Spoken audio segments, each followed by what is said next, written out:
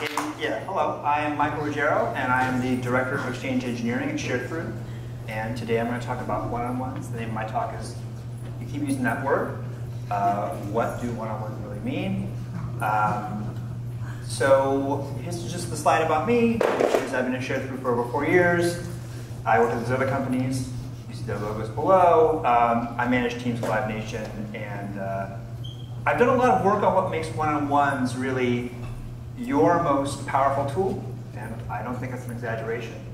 Um, and it's really understanding your team and inspiring your team.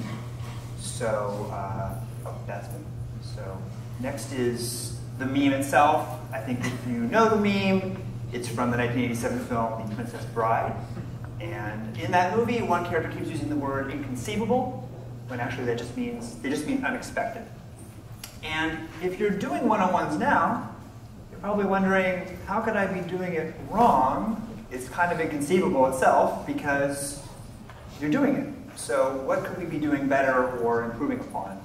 Um, so this is the definition, you know, a regular face-to-face -face meeting, you're identifying areas where the report is doing well or could make improvements, and you're helping them on the career path. And if you're doing them, continue to do them. That's a good thing to do. Don't stop just because I said you could do it better. Um, but I think what happens is that you fall into habits. And the real one-on-one -on -one tends to get a little bit lost in those habits. So HR complaints, checking on how the project is going, how are you doing? Um, all of those are things that you could find out in the hallway or using Slack, or just because you communicate with people on a day-to-day -day basis, but not really, it's not really what the one-on-one -on -one is about. Um, and honestly, my one-on-ones were like that for a very long time, so I think we're all at that place at a certain point in our career. Um, but I would suggest that there are some ways that you can break this down into something that's a little deeper and gets more curious about the people you're working with. Um, so one is, what questions are you actually asking? Because just asking how you're doing or what's going on um, is just not deep enough for you as the person who's going to be the the mentor or the person helping someone grow. Second thing is, are you really even hearing what they're telling you? It's obviously very important, and it's not as easy as it sounds. Um, and the third thing is, what actions are being taken as a result of the conversation that you're having? Because ultimately, every meeting that you're in, you know, you should have action items that follow up at the end of the meeting and things that we're going to do as a result of the meeting. We just don't want to have meetings for the sake of meetings. So I want to remind you that we fall into habits and you match on patterns. And you have a whole set of stories that go along with the people that you work with uh, every day. And you think you're getting it all, but there's some stuff beneath those patterns that you may not recognize. So, as an example, Alice is happy. When she comes into my office for the one-on-one, -on -one, she has energy and a good outlook. I already knew that. You already knew that. Um, Bob complains. That's how he processes the world, by complaining. And you knew that before Bob came in, and so if you just talk about his complaints for the whole time, you're not really getting anywhere deeper with Bob. And Ted is obsessed with that technology that he talks about all the time. Again, this is a pattern that you've established, and you're not really going to get much more from that conversation. Your stories, the ones you already have when people come into your room, they're only going to go so far. So I have three kind of strategies for getting more curious with the people that are working with you. So one is to have a list of questions prepared. Have a whole list of questions that you want to know about the people who you're working with. And draw on those questions. And they should span lots of different kinds of categories. The second thing is to actually hear what they're saying, and I'll talk a little bit more about that in a second. And the third thing is to have action items from every one-on-one. Every one-on-one should have something that you're going to do, and something your report is going to do, and you're going to bring back the next time you meet. So this is my list, and I'll share the link to this on the RAND Slack, and uh, it'll be at the end of the talk as well. It's about 100. I change them now and again. There's a whole bunch of categories.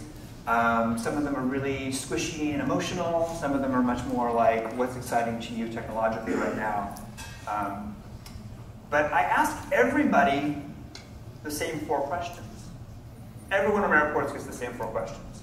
Um, I stole this from Jason Evanish, who wrote this great blog post on 101 questions to ask on one-on-ones. He also talks about doing action items as well, and that's just a good thing to read. Um, here are some examples of my questions, and it might seem weird to ask the same four questions to every person. Um, you know, your people are different, and they will respond differently to different things. But you can uncover patterns that you have built unconsciously. So a lot of times, I have one report, and I will ask him questions, and every answer he gives me is completely unexpected. I never know what he's going to say, even though I think that I do. Um, but we, again, I'm not going to ask the how could work be easier questions to the complainer. I'm not going to ask uh, what should we do for team morale to the happy person. I want to get lots of information about these people, and so I try to have the same set of questions for each person coming into the room. Um, and again, there's multiple categories. Um, some of them are about career growth, some of them are about just what do they want to do for the weekend. I want to know who they are.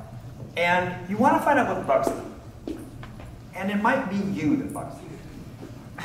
If somebody tells you that you're an irritating boss, I want you to know that's a huge gift they are giving you. Because that means that they are actually willing to be vulnerable enough with their boss to tell their boss that they are annoying. That's a huge amount of trust that you have built with your person. So if someone says that to you, I, I, I want to congratulate you. Um, it's never happened to me, of course. Um, so this structure seems a little abstract. It seems like kind of a rigid system, and uh, I think that I don't want to miss the point about coaching. Uh, I don't see a lot of motivation in here or vision in here. Um, coaching is really important to me as a person. Uh, two of my coaches are here. Marcy's right here, and Slith is somewhere here. Um, they are amazing coaches, and I'm fortunate to have them. Um, so coaching is really important to me. Um, and of course, the greatest coach of all is Coach Taylor from Television's Friday Night Lights. Now, even if you haven't seen the, the program, Coach Taylor is a very inspiring coach. He's super handsome, and uh, he's firm but fair and devoted to his family. Um, but I would argue that what makes Coach Taylor's speeches inspiring um, is the fact that he shows up for practice every day. And Rand's talked about this in his talks about the consistency of that check-in. Um, making that a really consistent time that you show up to all the time, because your report is really landing in that time. The person who's working for you, that's their time to tell you what's going on. So being that consistent check-in is super important for the one-on-one -on -one and, and, really shouldn't be un underestimated. Um, because you get busy and things happen and it's hard to be predictable sometimes you're doing a lot of stuff and you're going from meeting to meeting. But being trustworthy literally means being worthy of trust. So being predictable is an advantage in this uh, instance.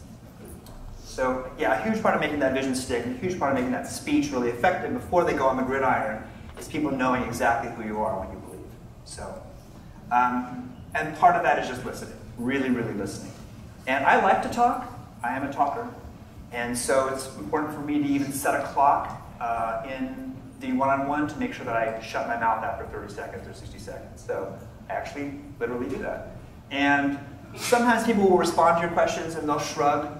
They go, I don't know. Sure. I don't really have an opinion about that question. That's when you have to say, well, what do you think when I ask you that question? Or what is your opinion of that question?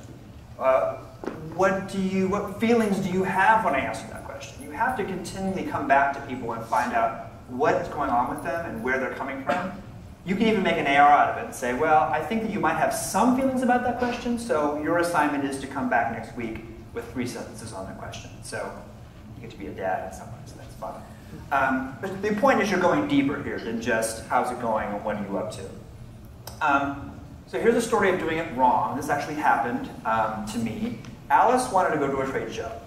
And uh, you know, going to the trade show involves people who are willing to talk about the product, sell the product, and talk to potential clients and sign them up. And Alice was good, but her interest in the product was pretty not much there. And I just didn't see her really being a representative of the product. She just wasn't that enthused about it. But she really wanted to go. And she said, well, can you ask your boss to have me go? And it was his decision at that time. And I said, I'll ask him. And I asked him, and he said, well, what do you think? Should she go? And I went, mm-hmm. and he said, well, she can go next year. So she said to me, hey, how did it go? Did, did I get the, am I going to go to the trade show? And I said, well, no, no, you go next year. She said, well, did you tell your boss that I really, you know, want, I was going to be really good? I went, well. she saw that as a pretty big betrayal. And she was right. She took the time to be vulnerable with me about something that was super important to her, and I didn't advocate for her. I didn't let her know what I actually thought of her request, and her, our trust was ruptured at that point. And you know what might have helped is if I had been transparent with her and said, you know, it would be great if you went to the trade show, but here's what go to the trade show involves you need to be like an eight in terms of like presenting the product to a potential customer. And I don't see you at that place yet, so let's talk about what we can do to bring you to a place where you would feel really comfortable doing that and I'd feel really comfortable sending That would have been really helpful for her. So again, what she told me was, I want to go to a trade show. What I heard was, well, yeah, trade shows are fun. That wasn't what she was saying at all. She was saying, this, would, this is something I want to do because it reflects my interest in the business and I want to learn more about the business. I thought it was a perk and she wanted it as an opportunity to grow. So I wasn't really hearing what it is she was actually saying. Um, that takes vulnerability, and this is my book recommendation. It's the one I'll make in this talk. Um, it really spoke to me about vulnerability and sitting with a couple of things. It's called Rising Strong by Brene Brown. And she has this thing in there about the delta. And the delta, um, not just the, the symbol for the, uh, the change in a changeable quantity, but really the space between the stories that you have and the truth that's out there that you haven't learned yet. So, you know, river deltas form when the river carrying sediment hits the body of water, like an ocean or a lake. And uh, it's hard to navigate. It's full of mud. It's, uh, it's messy. But that's where all the plant life comes from. That's the richest place for plant life. And when Alice says, I want to go to the trade show, there's a space that I need to explore between what I thought about trade shows and what she was actually saying to me about trade shows. So the same thing with Ted and his technology. Oh, I'm really interested in this technology, it's really great. That reflects a deeper value that he has that I need to understand. And for me to just pattern match on that's the technology that Ted's interested in is not going deep enough to, to understand what he's really talking um, and this sounds hard. It is hard. Um, but it's an honor. Like this is this is your work. This is what you're going to do. And you again, you want to be worthy of trust. People need to be vulnerable with you. You need to be vulnerable with them. So we all know what it's like to have like a set of commits at the end of the day. Like that endorphin hit you get when you look at the set of commits that you did, and you're like, yes, I did this. I built this thing. Um, you don't get that as much as a manager. You get it once in a while, but um, you know how hard this is for your personal projects. You know, like I'm going to learn this framework in two weeks, and you do this personal project, and the first thing is four commits, and then it's three commits, and then it's two commits, and then it's the weekend, and you stop. What makes that a more powerful exercise for people who, like, are in a work situation? Like, you get a lot of commits during the day because there's sustained activity sustained activity. You're doing it inside this container of continuing to ship and needing to ship. Um, you're doing the same thing with your people. You're building this sustained activity with them. So here's an example of where it worked. So Bob wanted to be a public speaker. And he was nervous. He didn't think he had anything to say. And we talked about what it would take. Like, let's look at the CFPs. Let's identify three talk ideas that you have and see which one you like best and why. Um, write a proposal and give it to me, and I'll tell you what I think of it. Like, I'll give you feedback. Um, let's pick three conferences you really want to speak at, and let's put together a proposal. Action items over and over again, building sustained activity. It's like commits. Like he's coming back to you and saying, I did this thing. Oh, that's good. Let's do another thing and build on that and build on that. Not just a promise of, yeah, it would be great. I'll help you with that sometime. It's really that checking. It's the coach always showing up for practice. And he did all the work. I didn't do the work. He did it. But you know, just last this, this last year, he went to a DevOps conference and gave a great talk, and it was amazing. And he's going to do another talk. And it's just awesome to see that. So this all comes back to why do we even do one-on-ones? Because there's no constitutional anything that says you have to do them. You don't have to do one-on-ones. You could just say hi to people in the hallways and help them with their HR problems, and that would be it. But there's a reason why we do them, and one of them is that you have people who want to go someplace and do something. And are you helping them do that thing? The other is, again, that trustworthiness. Like, you need to build a rapport with someone, and if you just have this kind of superficial relationship that only goes so far, then you're only going to help them that much because you're not going to know what they want to do. Um, so this should be work for you. Um, but again, celebrate that you've been given the opportunity to work with these people because these are obviously very smart people. And you're lucky to get this opportunity. So again, list of questions, same list of questions for each person. Actually hear what they're telling you, and then action items at the end of each. -one. Thank you very much.